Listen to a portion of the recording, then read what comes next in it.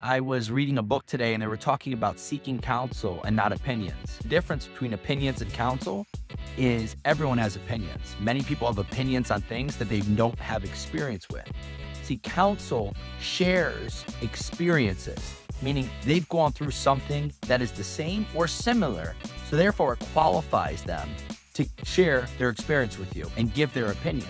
That's why we seek out the counsel and not the opinions. Now, it's important to have sounding boards to bounce our ideas off of people, but we need to be very selective of who those sounding boards are. We can respect people in our lives, but it doesn't mean that we bring certain situations to those people because they may not be qualified to be a sounding board in that exact area of your life. For example, my mother, I love her. She knows how to live life. She knows how to work hard.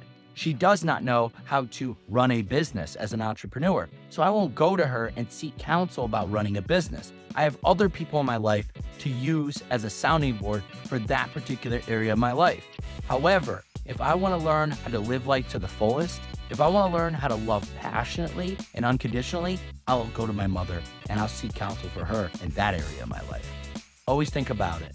Am I seeking counsel or am I seeking opinions? In my opinion, seeking opinions is the quickest way to seek unhappiness.